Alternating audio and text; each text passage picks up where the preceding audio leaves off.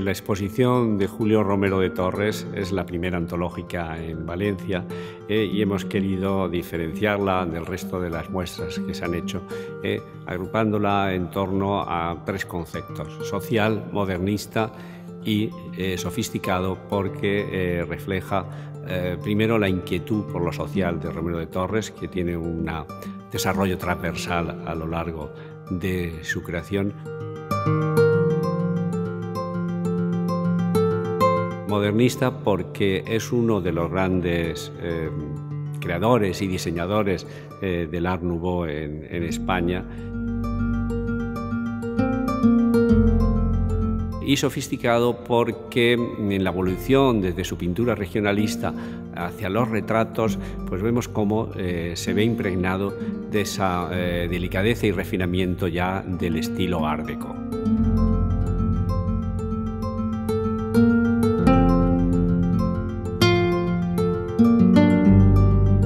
Julio Romero de Torres es uno de los artistas eh, más personales del inicio del siglo en España, que se caracteriza precisamente por la asunción de una serie de autores eh, de una marcada voluntad de estilo.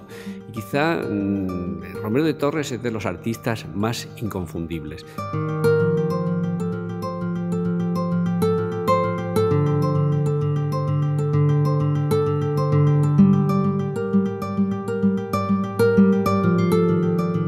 La suya es una pintura de un mundo interior, la suya es una pintura de alma.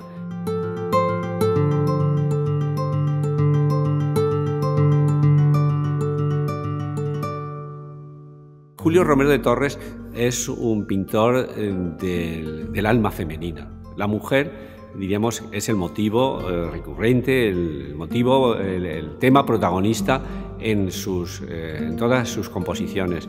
Eh, una visión respetuosa y una visión comprensiva.